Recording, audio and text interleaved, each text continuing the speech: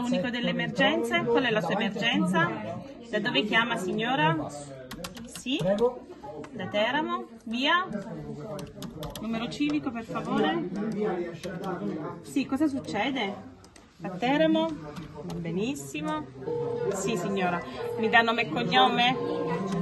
Per favore, grazie. C'è un riferimento signora? Sì? Scriviamo subito. Rimanga in linea per favore e non riagganci e così le passo ai carabinieri di Teramo. Buongiorno. C'è un intervento su Teramo via Cona. Grazie, le passo l'utente, non riagganci. È sufficiente una manciata di secondi agli operatori del numero unico europeo per le emergenze 112 per comprendere la natura della richiesta di aiuto e l'esatta localizzazione del chiamante, prima di interessare l'istituzione di soccorso sanitario o di emergenza che prenderà in carico la chiamata. Questa rivoluzione nel campo dell'emergenza, di cui tutti i 27 Stati membri dell'UE dovranno dotarsi per uniformare le procedure di richiesta di aiuto, è partita il 12 marzo scorso, quando erano direttamente collegati alla centrale unica di risposta solamente gli utenti dei distretti telefonici di Pescara, Chieti, Lanciano e Vasto.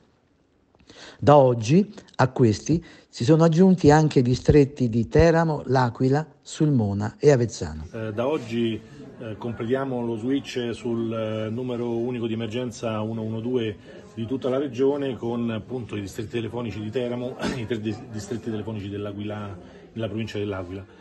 Quindi dal pomeriggio di oggi eh, tutta la regione sarà servita dal servizio 112.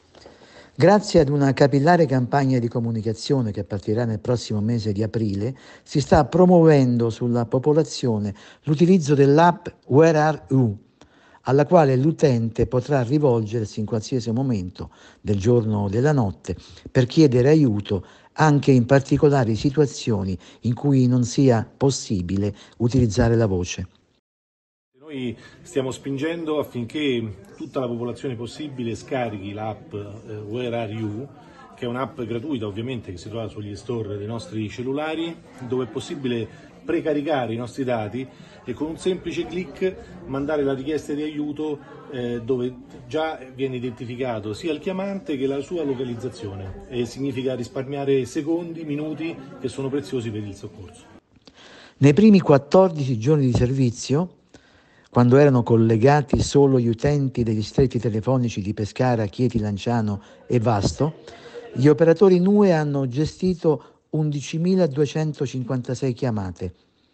Di queste 5.898 sono state trasferite alle centrali di secondo livello, Polizia di Stato, Polizia Autostradale, Carabinieri, Emergenza Sanitaria, Vigili del Fuoco e Capitaneria di Porto, pari al 52,56% delle chiamate totali.